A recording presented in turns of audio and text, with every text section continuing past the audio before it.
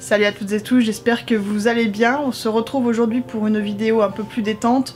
On va parler de livres, forcément, mais on va parler aujourd'hui de livres qui ont changé ma vie. Et ils ont surtout changé mon parcours de lectrice et d'écrivain. Je vous propose sans plus attendre de commencer avec le premier livre qui n'est pas forcément une surprise et qui je pense a bouleversé la vie de beaucoup d'entre nous. On va parler d'Harry Potter. Alors j'ai découvert Harry Potter quand j'étais en cinquième. Euh, au tout début j'étais un petit peu sceptique. J'avais commencé en fait, j'avais même fini un livre qui s'appelle L'île du crâne qui raconte les aventures d'un jeune garçon qui se retrouve sur une île avec des professeurs et des élèves pas comme les autres. Rapidement le personnage se rend compte que c'est une école de sorciers. Alors c'est vrai que quand Harry Potter est arrivé sur la scène, euh, j'ai trouvé que ça faisait un petit peu plagiat, un peu copie et je m'en suis un petit peu désintéressée.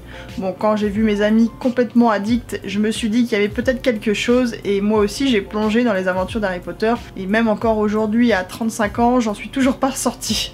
Comment Harry Potter a bouleversé ma vie Eh bien de deux manières. À ce moment-là, ça m'a redonné envie de lire encore plus parce qu'une fois que j'ai commencé Harry Potter et surtout une fois que je l'ai terminé, eh ben j'ai envie d'en avoir. Malheureusement, J.K. Rowling n'avait pas écrit plus et surtout qu'à cette époque, il fallait attendre à chaque fois la sortie des nouveaux livres, ce qui était énormément frustrant. Donc je me suis mis à lire plein d'autres choses. Ça a été un peu la porte d'entrée dans tout ce qui touche la littérature de l'imaginaire. Et surtout, Harry Potter m'a donné envie d'écrire parce que oui, je fais partie de ces personnes qui ont écrit pas mal de fanfiction sur Harry Potter. Alors à l'époque c'était pas fanfiction.net, je ne me souviens plus des sites, mais j'étais assez fan du couple Hermione Drago Malfoy, oui.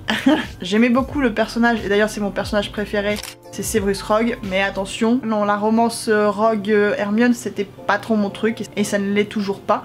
Ouais, lui il est adulte, elle, elle était un petit peu mineure, moi personnellement ça m'a toujours dérangé. Non, mais par contre j'étais assez fan des romances d'un personnage complètement inventé ou de Lily Evans euh, Potter avec pourquoi pas Severus Rogue. Ça, pourquoi pas, ça fonctionnait. Mais bref, donc Harry Potter m'a mené à la fanfiction et m'a mené donc à l'écriture. Aujourd'hui j'écris plus de fanfiction, maintenant j'écris mes propres histoires et c'est devenu mon métier.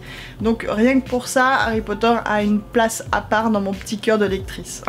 Deuxième livre que j'ai découvert à peu près à la même époque, c'est-à-dire quand j'étais en cinquième. Je remercie d'ailleurs mon professeur de français de l'époque qui a été très malin et plutôt que de nous faire lire des classiques qu'on n'avait pas envie de lire, hashtag l'assommoir, eh bien il nous a fait découvrir Arsène Lupin, mais surtout moi il m'a fait découvrir Jules Verne via le Tour du Monde en 80 jours. Alors ça c'est certainement le livre qui m'a le plus marqué de cet auteur et à partir de là j'ai dévoré une très grosse quantité de Jules Verne derrière. Je vous en parlerai dans une autre vidéo d'ailleurs. Pourtant le Tour du Monde en 80 jours, on n'est pas dans le roman imaginaire, quoique c'est une bonne voie vers le steampunk. Alors oui, dans le Tour du Monde en 80 jours, on n'est pas avec des sous-marins ou des inventions comme euh, le boulet de canon qui permet d'être propulsé sur la lune. Ici c'est un peu plus soft, c'est un peu moins fou parce qu'on va parler de montgolfière mais à l'époque il faut savoir que c'était quelque chose d'énorme.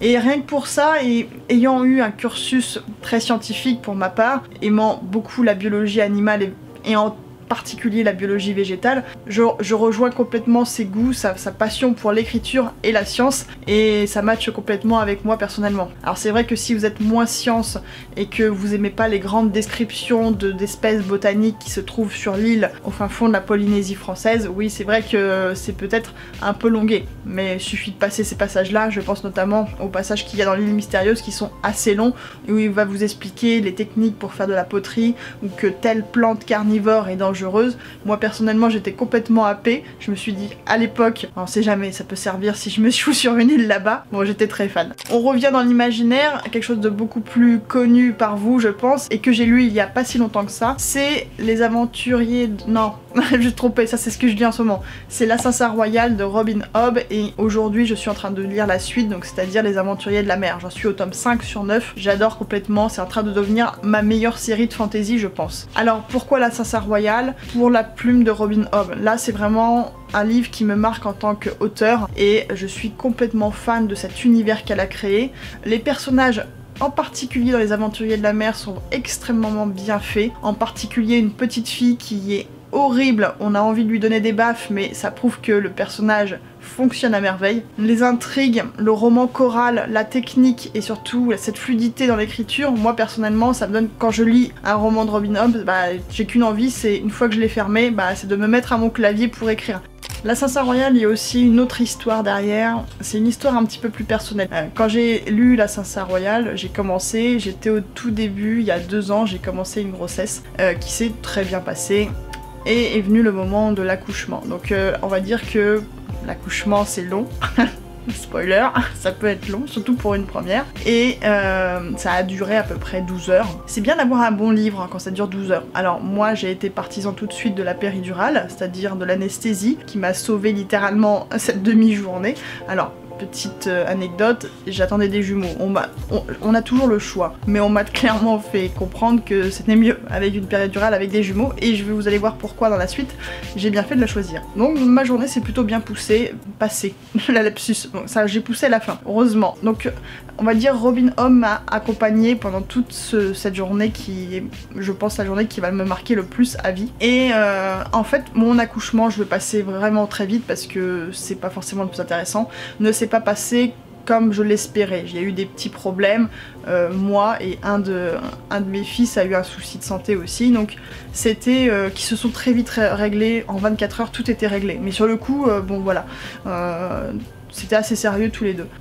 Donc euh, un état, on se retrouve en fait, euh, moi je me retrouve le soir toute seule dans une chambre en soins intensifs ou en soins continus, non soins continus c'est ça le terme je crois. Mais euh, bon j'allais bien, mais voilà j'étais surveillée. Mes enfants n'étaient pas dans la chambre avec leur père, mais étaient en soins aussi, comment ça s'appelle, néonat. Et donc mon mari lui était dans notre chambre. Donc en fait on était, on squattait déjà trois chambres dans la clinique. Très bien. Et voilà j'étais moi qui étais en proie aux angoisses tôt dans ma vie euh, là, on, recommençait un petit peu à ressurgir. Et j'avoue que Robin Homme m'a bien aidé à franchir le pas. On me disait non, reposez-vous. Oui, oui, oui. Attendez, j'ai pas fini mon chapitre. Je ne sais pas comment ça se termine. Donc oui, Robin Homme était là dans ce moment peut-être un peu plus difficile, mais qui accompagnait aussi ces moments de joie qui sont euh, inoubliables aujourd'hui. On passe maintenant au dernier livre qui m'a marqué et là Bon, comment passer à côté de la bande dessinée puisque ça fait partie, en bonne partie, de mon parcours d'auteur. Je vais vous parler donc, c'est là où je triche, de deux BD. On va parler de Tintin et d'Astérix. Pourquoi? Parce que ce sont les premières BD que l'on m'a offert. Alors je ne sais plus si c'est le Tintin ou si c'est le Astérix. En tout cas dans le Tintin, je crois que l'on m'a offert en premier non, je m'en souviens pas. J'essaye de chercher, mais non, je m'en souviens pas. Et Astérix, non plus. voilà. Bon, il y en a qui m'ont marqué plus que d'autres. Dans les Tintins, j'aime beaucoup. Les deux Tintins, Objectif Lune et On a marché sur la Lune. C'est le Tintin qui m'a fait le plus voyager, je trouve. Et Astérix, j'aime beaucoup l'Hôtel des Dieux, par exemple, ou euh, La fiancée de... Non, la fiancée de Lucky Luke, ça c'est Lucky Luke, c'est bien mode. bon, Lucky Luke j'aimais bien aussi. Mais bref, en fait, Tintin m'a beaucoup marqué, je sais pas, c'est très visuel, c'est les illustrations qui sont pour moi très marquantes. Quand je vois une illustration de Tintin, ça me fait voyager. Et Astérix, je dirais que c'est plutôt pour l'histoire. Voilà, j'espère que ça vous a plu. N'hésitez pas à me partager, vous, les romans qui ont marqué votre parcours de lecteur et pourquoi pas aussi d'auteur. Sur ce, je vous dis à très très bientôt pour une prochaine vidéo. Salut, ciao